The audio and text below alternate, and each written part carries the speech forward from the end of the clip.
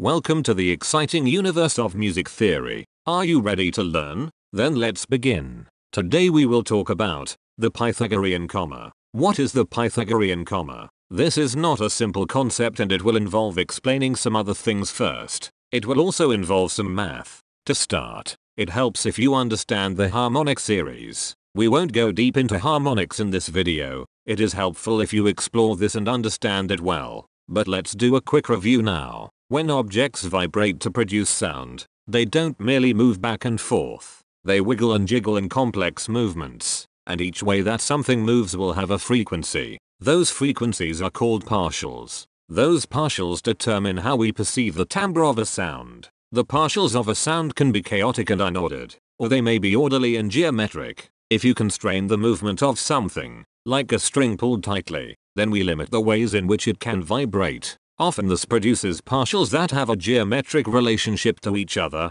in simple ratios. These partials with simple ratio proportions are called harmonics, and the whole series of them are called the harmonic series. When we perceive a sound as having a pitch, it is because its vibration has an identifiable fundamental frequency of vibrations per second. For example, let's consider the A string of a cello. The fundamental frequency, the one that we perceive as its pitch, is 220 Hz. We call this the first harmonic in the harmonic series for the note called A. The second harmonic is the one produced by dividing a vibrating thing in half. This produces a sound one octave above the fundamental. To calculate its frequency, we multiply 220 by 2, which equals 440. The sound produced by the first and second harmonics, an octave apart, sounds very pure and pleasing to our ears. Because the two tones have matching periodicity where one tone vibrates twice as fast as the other.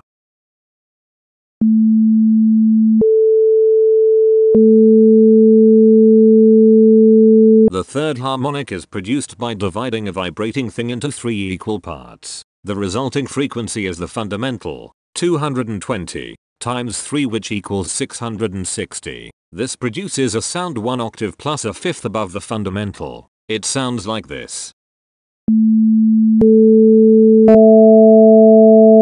That ideal sound of a perfect fifth, produced by the second and third harmonics, sounds very pure and pleasing to our ears. Here they are sounding at the same time. When a fifth interval is tuned in this way, we call it a just fifth. That ideal tuning of a just fifth can be expressed as a ratio of the second harmonic to the third harmonic, or simply 2 to 3. This means to find a frequency 1 just fifth above a fundamental tone, we multiply the frequency by 3 halves, or 1.5. There are other pleasing intervals in the harmonic series. For instance, the tuning of a major third is found between the fourth and fifth harmonics. When two voices sing in this precise tuning, we experience it as a beautiful harmonious combination, because their harmonics align. So we have established that the pure and pleasing tuning of a just fifth interval comes from the harmonic series in the ratio of 3 to 2, and we know that to raise a frequency by a just fifth, we multiply the frequency by 1.5. Similarly, a pure and pleasing tuning of a just major third is the ratio of 5 to 4, and to raise a tone by a third, we multiply its frequency by 5 quarters. Let's use this knowledge to tune a harpsichord. Start with the pitch D, which we will set at the frequency of 288 Hz using a tuning fork. Using our ears as the finely calibrated instruments they are, we will use the harmonic series to tune up and down fifths from that reference pitch. We will travel up clockwise around the circle of fifths to G sharp, and counterclockwise to E flat, tuning every note in the 12 tone chromatic scale as we go. Bear with me because this will take some time. If you want to skip ahead, do so now.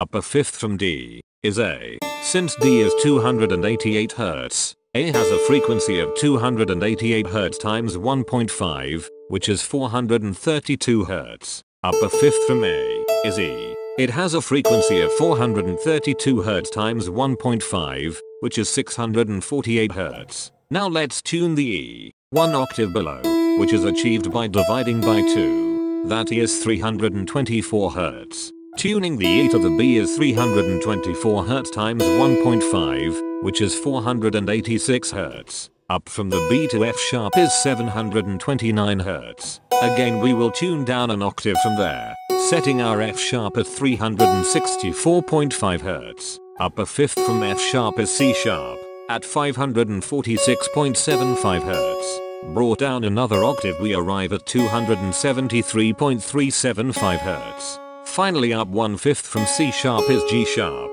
with a frequency of 410.0625 Hz. Now we will start back at D, and tune our fifths downward. Our fifth below D is G, which is 288 Hz divided by 1.5, which is 192 Hz. Bringing that up an octave, the G is 384 Hz. Down a fifth from G is C, with a frequency of 256 Hz. Down a fifth from that is F, which equals 170 and 2 thirds or 170.666 repeating. Bringing that up an octave fills in the frequency for F at 341 and 1 3rd Hz. Down a fifth from F is B flat at 227.555 repeating and up an octave is 455.111 Hz. And our final note is down a fifth from B flat, giving a C flat with a frequency of 303.407 repeating. Great. We now have a chromatic scale, from which we can extrapolate out all the other octaves.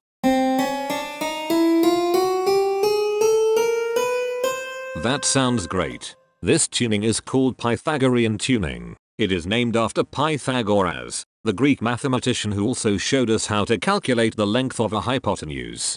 And we know that our fifths all sound great, because we tuned them precisely to each other using just fifths.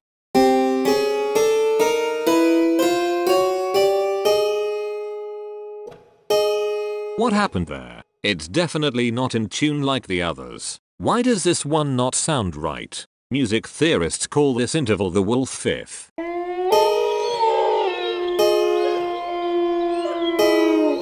It's also called the Procrustean fifth. To explain why it sounds out of tune, we will do what Pythagoras did, and use some math. According to our circle of fifths, we should be able to travel by a perfect fifth interval 12 times, and we will arrive at the same pitch class where we began. Observe. On the left is a stack of 12 fifths starting on a very low C and ending on a very high B sharp, which, because of the circle of fifths, we assume to be enharmonic or equivalent to C. On the right is a stack of 7 octaves spanning the same distance. This illustrates that we assume that 12 fifths should be the same as 7 octaves. To transpose the bottom pitch to the top one using justly tuned fifths, we multiply it by 1.5, 12 times. Another way to express that is 1.5 to the power of 12. To transpose the bottom pitch to the top one using octaves, we multiply by 2, 7 times. This can be expressed as 2 to the power of 7. Our tuning problem arises because, although these two values are quite close, they are not equal. 2 to the power of 7 is 128. 1 and a half to the power of 12 is equal to 129.7463. So there it is. Our tidy circle of fifths is a lie. The numbers do not add up perfectly, and our perfectly tuned fifths do not produce a neat closed circle of octave equivalents. They are quite close, but not equal. That difference is called the Pythagorean comma. It is a small but noticeable difference between an interval of 12 just fifths and 7 octaves. The Pythagorean comma is equal to approximately a quarter of a semitone. The word comma means an act of cutting. It signifies the small portion that must be trimmed away in order for fifths and octaves to fit neatly together. The Pythagorean comma is like a leap day. As you know, a year is not exactly 365 days. The speed that our planet rotates does not fit neatly into the duration of our planet's orbit around the sun. So we occasionally inject an extra day into the calendar to account for the small difference. In this metaphor, the leap day is like our Pythagorean comma. It is a little extra bit that must be accounted for in order for two things to fit together. Videos like this one exist because of the generous donations of patrons like you. If you watched that all the way through, I bet you enjoy geeking out on all this nerdy stuff. So please consider becoming a patron of the exciting universe of music theory for as little as $1 per month. you can help ensure the creation of great resources, including videos like this one. Go to patreon.com slash music theory, become a patron, and you'll not only be acknowledged on these materials, but you'll also be the first to know when new materials are completed. And finally, give this video a like, share it, and subscribe to this channel.